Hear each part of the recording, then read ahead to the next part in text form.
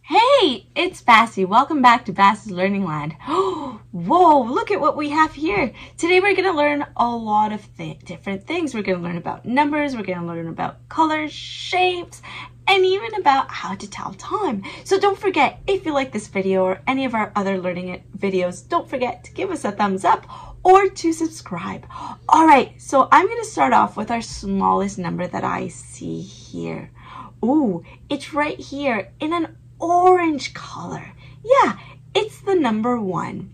We're going to look for an orange colored shape, which has one, two, three, four different curves on it. It's called a quatrefoil. So I'm going to look for an orange shape which that has the number one that is called a quatrefoil. Do you see where it is? Oh, you do? Oh, thank you. It's right here. We found the number one, the orange number one in a quatrefoil. Now, after number one, we're going to go to the number two. The number two is in the blue color. Yeah, and this shape is called a parallelogram. It's called a parallelogram because there are two sets of lines that go in the same direction and never touch. Take a look.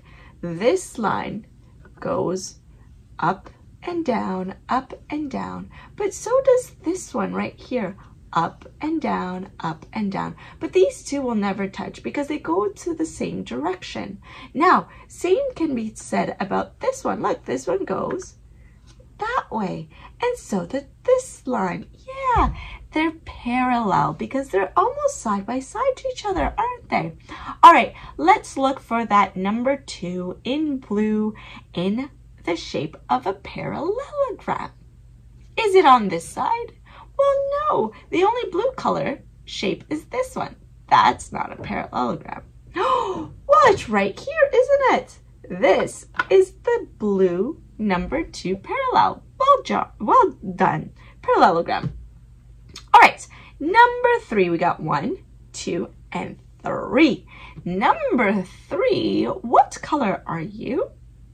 Oh, it's in green, but of course. Now, this is interesting. That number three is paired perfectly with that shape because this shape has one, two, three sides. It also has one, two, three vertices. Mm -hmm, perfect planning. All right, so the number three is in green and it's a triangle because tri means three. Awesome. All right, where is that triangle?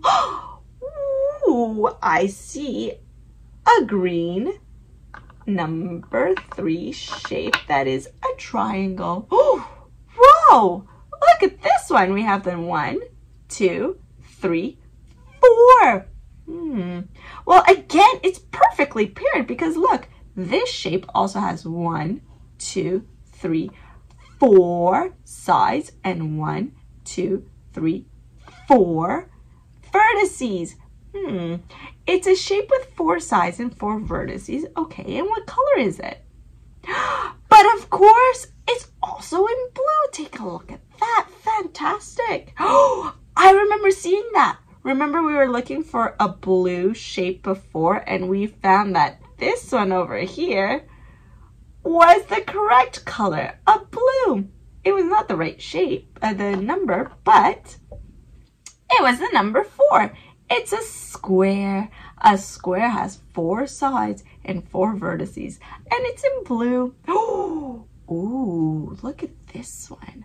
One, two, three, four, five. Five. The number five is in the color purple. It's a purple number five. Hmm. Okay. So this is interesting because this shape has one, two, three, four, five sides, and one, two, three, four, five vertices. This shape is called a pentagon because penta means five. So it's a shape that has five sides and five vertices. Hmm. And in this case, that pentagon is in purple. Oh, What's that? It's on this side. You are fantastic with shapes. That's the number five. So we have the one, two, three, four, five. Six is next. Of course, it's in the color red. Hmm, well, that's the number six. Let's look at this shape. This shape has one, two, three, four, five, six sides. It also has one, two, three, four, five, six vertices. All right, let's take a look for that one. I don't think it's over here. I don't see any red colors. So it's over here between these two numbers. Oh, you are fantastic. Look, there's the number six. This shape is called a hexagon. Hexa means six. So this is the hexagon. And you might have seen this shape as a stop sign. Yeah, take a look at that. Whoa, it's a hexagon. Ooh, we've done one, two, three, four, five, six, and the number seven is next. This shape, hmm, doesn't quite look like a circle. It's a little squished, isn't it? It's in the color orange. Hmm, very interesting. All right, so it's the orange color. Let's see, and it's in this shape that is an oval. Well, I only see one orange shape left. It's right here. There's the number seven. That's seven in an oval shape in orange. Hmm. All right, so we did the number one, two, three, four, five, six, seven, and eight. All right, the eight is in the color blue. Well done. It's in the color blue. That shape is going to be blue. Let's look at the shape. I wonder what it is. One, two, three, four, five, six, seven, eight. Eight sides. Let's count the vertices. One, two, three, four, five, six, seven, eight as well. Hmm. Well, I know that eight, you can also say octa. I know. It's probably called an octagon, of course, and it's in blue, and it has the number eight on it. Oh, you see it? Well done, it's right here. Fantastic. We're almost there, friends. One, two, three, four, five, six, seven, eight, and nine. Nine is the next shape. It's in the color green, of course. It's in the color green. Well, this shape is quite interesting. It also has four sides, just like the square in the parallelogram. It also has four vertices, doesn't it? Yeah, just like the parallelogram and the square. Hmm.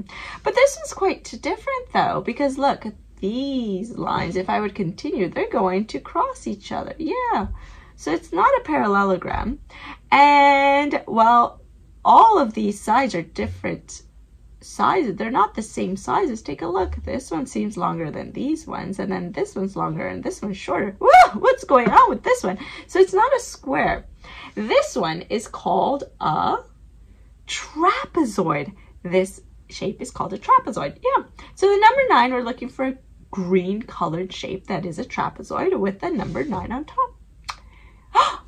Here it is. Oh, there we go. Perfect. Oh, so we have one, two, three, four, five, six, seven, eight, nine, ten. Oh, this is interesting because now it doesn't only have one numeral, it has two numerals. It's very important that I see that the number one comes first, one and a zero.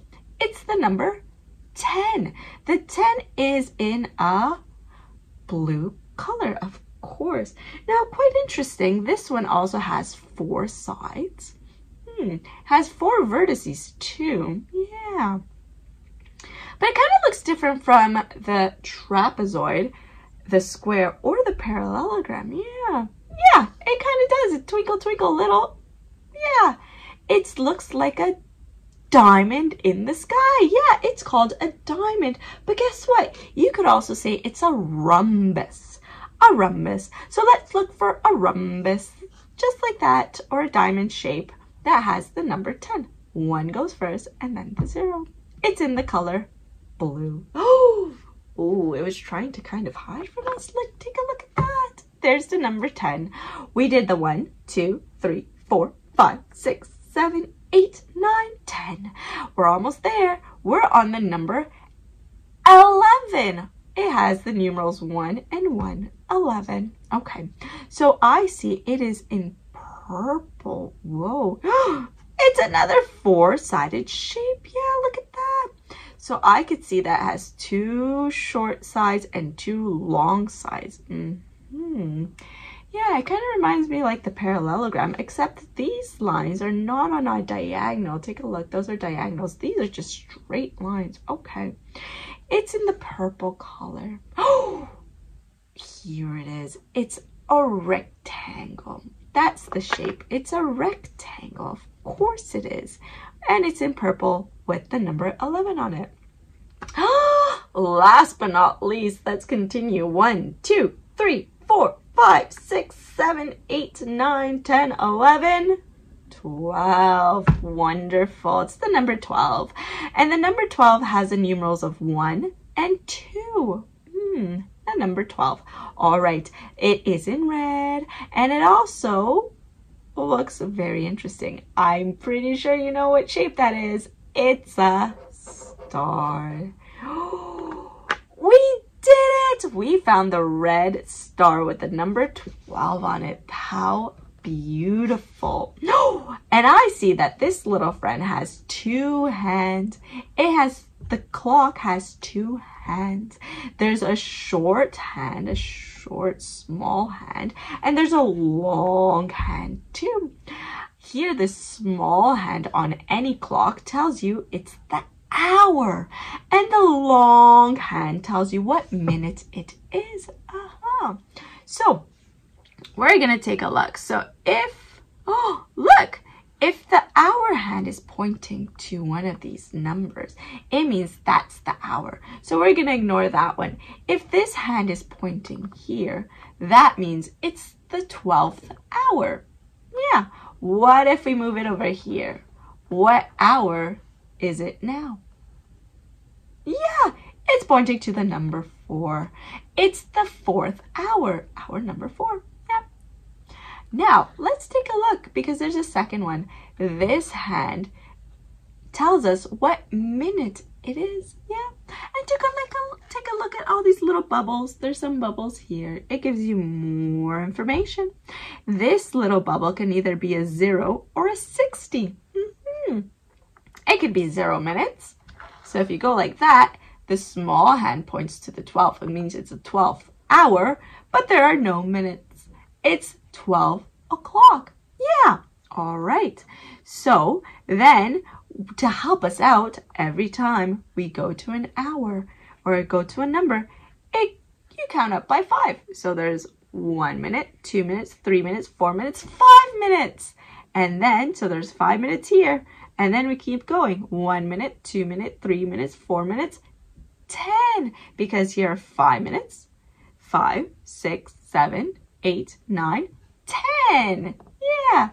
11, 12, 13, 14, 15, 16, 17, 18, 19, 20, 21, 22, 23, 24, 25, 26, 27, 28, 29, 30, 31, 32, 33, 34, 35, 36, 37, 38, 39, 40, 41, 42, 43, 44, 45, 46, 47, 48, 49, 50, 51, 52, 53, 54, 55, 56, 57, 58, 59, and 60. Wow. So what's really interesting is it's very important that you practice counting especially by twos, so 2, 4, 6, 8, and so on. You count up by fives, 5, 10, 15, 20, 25, and so on. And by tens, 10, 20, 30, 40. In this case, counting up by fives is super important because if I know, let's pretend the time is like that. Well, I know that the hour, the small hand, is pointing to the one. So it's one hour it's one and how many minutes? Well, I could count up by fives. Five, ten, fifteen. It's one hour with 15 minutes. Yeah, I don't have to spend time counting each and every single minute because I have been practicing counting by fives.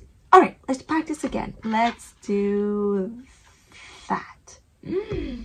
Well, first I'd like to take a look at the small hour hand. This one is pointing to the number nine. So it's the ninth hour and how many minutes? Well, this is pointing to that five. So I'm going to count up by five. Ready?